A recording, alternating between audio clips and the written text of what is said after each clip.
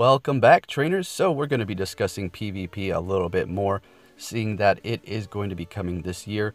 I'm going to give you a little bit more insight on the CP cap I've been discussing. Uh, now, I've been talking about that for a while now, and I've never really given a visual on it. So, we're just going to go ahead and take a look at a few teams that I set up just so you can have an idea as to what it would possibly look like.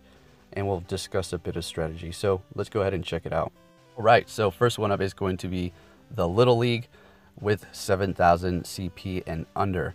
So how is it going to work? Well, you both go into the arena, the battle, as you're picking your team, and you'll have a number at the top. So the first Pokemon you pick, it'll indicate and show you 1,930 for the Medicham, right? And then you go into the Bellossom, and then it'll add on and continue to add on until you exceed or are ready to go in with the team that you have. Uh, it should be a clear visual uh, right at the top there, you're like, okay, I have 1,000 left. Let me throw in my Chansey. Okay, let's see what can counter this Pokemon. All right, we'll put in the Butterfree. Uh, so things like that. And if you're thinking to yourself, okay, well, 7,000 CP, all right. What if somebody decides to pick a Blissey and, you know, pick two of them, as a matter of fact, and just go in there with 10 CP Pokemon right behind it and just completely wall you? Well, I have a solution for that your Pokemon cannot go beyond like 1200, 1500 CP.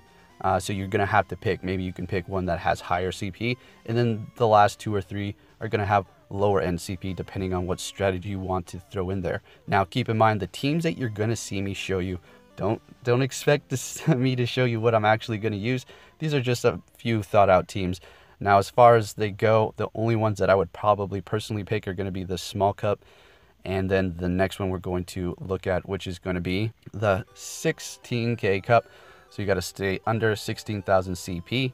This time around, the CP has to stay under like 2,900, maybe 3,000. So that should be pretty good. I think this would be the most common mode people would be picking. Uh, and as far as legendaries go, can you use these? No. There will be no legendaries allowed. There's going to be something we're going to discuss here in just a second about that. So once again, just throwing teams together. But as far as they go, this one looks pretty solid. Uh, you do have three Pokemon that are going to be weak against water types here. So that's going to be a bit of a problem, although I have the Lapras and then the Sceptile to counter that. But we're not going to be talking about strategies yet. No, that is going to be when PvP comes out. And yes, I will have really good tips on that. So this is a generally pretty good team here. Um, yeah, I mean, we're not really focused on the team itself. I kind of just threw it together. So uh, yeah, this is right under 16K. It's about 15 something exactly. So there you go for the 16K medium cup.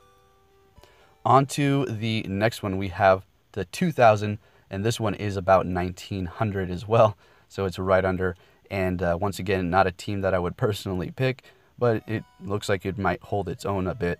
So yeah, that's the concept here. And for this one, it's just a free for all. Uh, no matter what CP they have, it's just no legendaries. Now, possibly there will be a way to turn on legendaries, you know, options there, um, or just like a customized match. So keep that in mind. Just trying to give you a visual on what you can maybe expect. Now, let's go ahead and go into the legendaries. All right, so this one is uh, pretty interesting. It's going to be basically a legendary mode, right, where you can just have a full team of those and just go to town. No CP cap, no anything. You can throw in other Pokemon if you want to, but you're better off not to. And, well, you may want a Blissey and a Machamp. And Mewtwo, maybe, you know, Mewtwo's good, depending on what you're trying to counter. Everything in here is not going to be really affected unless you had like a Shadow Ball going up against the Lugia. But other than that, you may want to switch. Let's see here. Um, Ho-Oh. And we're not going to put in a legendary. Let's just say a Blissey, right? So there's going to be no limit on this one. This is basically the free-for-all. This will be a set mode. And then, of course, there'll be a customized mode. So there you have it. Uh, an actual visual on what the CP cap might look like when we get PvP. If this is even going to be a thing. This is just a theory that I've had for a while, and I just wanted to give you a clear sight on what it might look like. Okay, so I know I said I wasn't going to give any of my team information out, but I put a team together here that I thought would be pretty good. Now, if you're thinking, Rhydon, really? Well, that's just pretend that's Rhyperior, okay?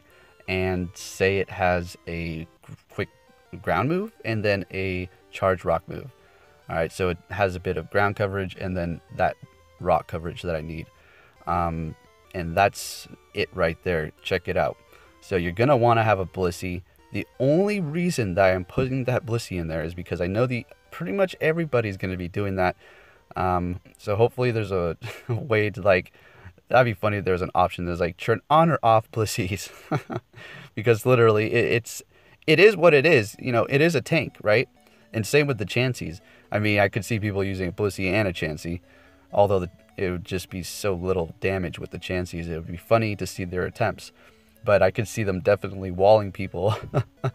oh man, PvP. I can't wait, guys. It's going to be amazing. So, we have the Lapras coming in. I thought that was a solid way to enter the battle.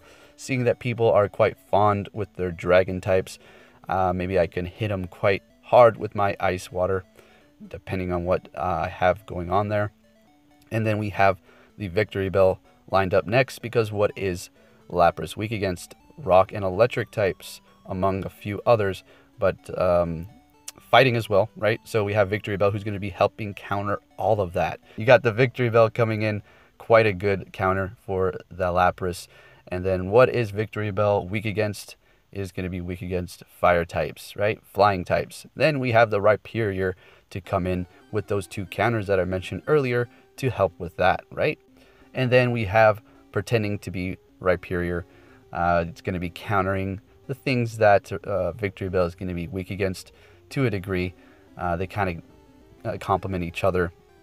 Uh, so the Rhyperior has that ground and rock move, hypothetically, hoping.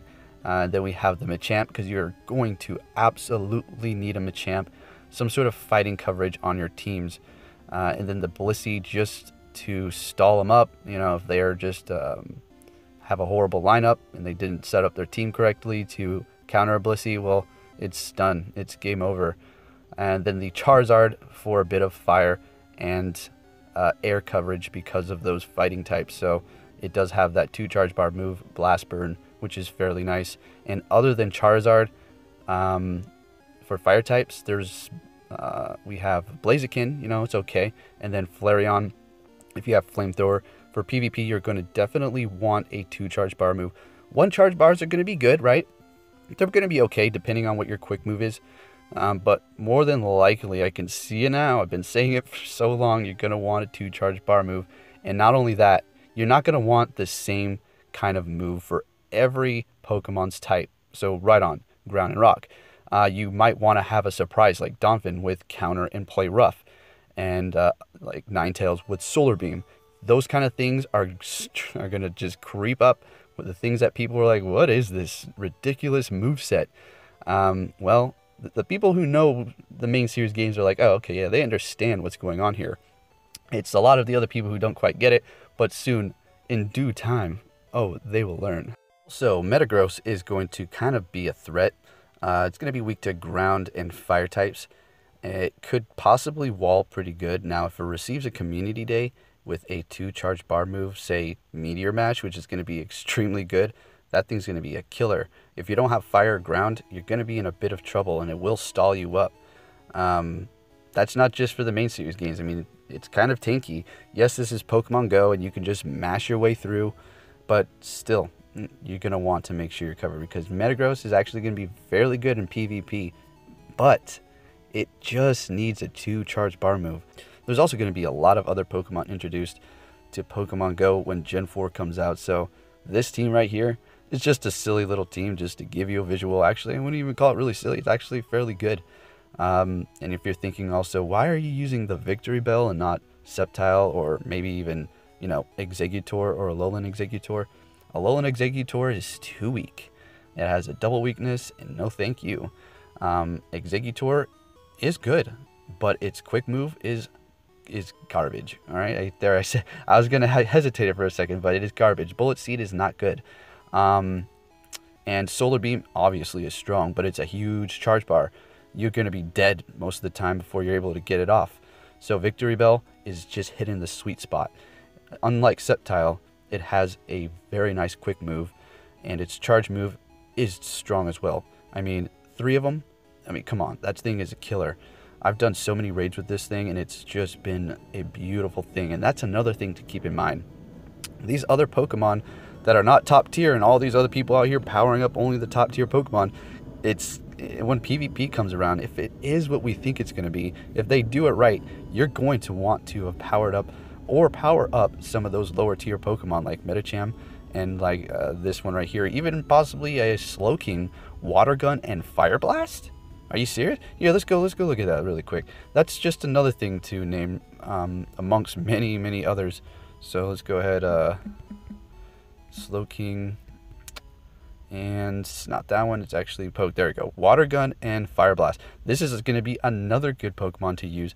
Yes, it is one charge bar move, but it it's somewhat tanky. It, you know, it can take a hit or two. If you're going up against um, what electric Pokemon, uh, Jolteon, uh, you're going to be able to get that fire blast off. Although none of your moves are going to be worthy, you might as well switch at that point. But who knows how the battle mechanics are going to work? Is it going to even be worth switching? Um, because that was a big part of Pokemon in the main series.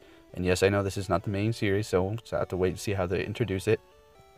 I can come up with more theories on how PvP is going to work and this and that, but I thought I'd just stick to the fundamentals I've been talking about for a while and show you a couple of strategies as far as moves.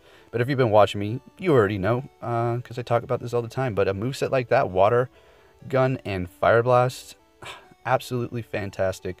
So there you go, trainers. Hope you enjoyed this video on PvP topic, and I will be catching you very soon. Take care.